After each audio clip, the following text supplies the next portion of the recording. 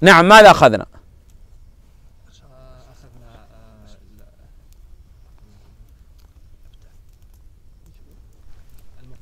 المقدمة وفيها أربع مسائل. هذه المسائل هي أولا لابد نتعلم. ثم نعمل. ثم ندعو.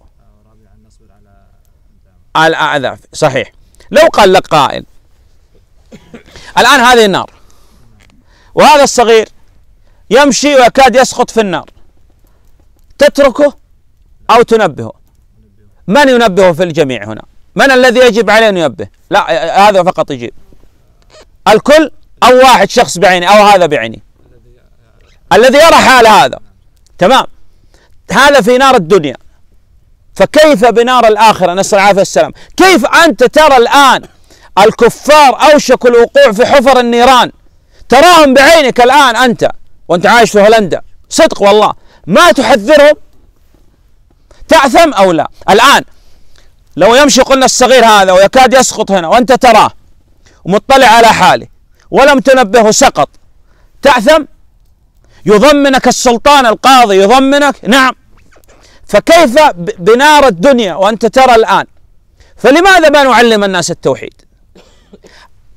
في فرق يا اخواننا بين الفتوى. الفتوى هذه لها كبار العلماء لها القضاة الشرعيين. أما الدعوة إلى الله الذي لا تشك فيه واحد بالمئة هذا لابد تدعو إليه. بالله هل, هل يشك واحد فيكم في التوحيد؟ هل يشك واحد فيكم في وجوب الصلاة المفروضة الخمس؟ إذا هذه ليست بفتوى. هذه دعوة. الدعوة الذي لا تشك في واحد بمئة هذا لابد تدعو إليه. أما الفتوى لا يمكن أن أن نتكلم بها أبدا. نعم. ما الدليل على المسائل الأربع؟ والعصر إن الإنسان لفي خسر. نعم يا أخي أقسام الصبر الثلاثة. الأول الصبر على على طاعة الله حتى تؤدى. عن معصية الله. ما يمكن يقول على. نعم عن. حتى تجتنب. والثالث أقدار الله ما يقدر الله سبحانه وتعالى عباد هذا هو القسم الأول. كثير من الناس يريد يجاهد ويقول أنا لماذا لا أجاهد؟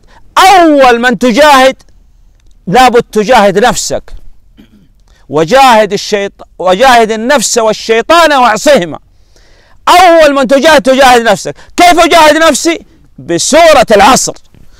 تريد من الكافر يصلي صح؟ يتعلم التوحيد يصوم صح؟ إذا لابد أولا أنت.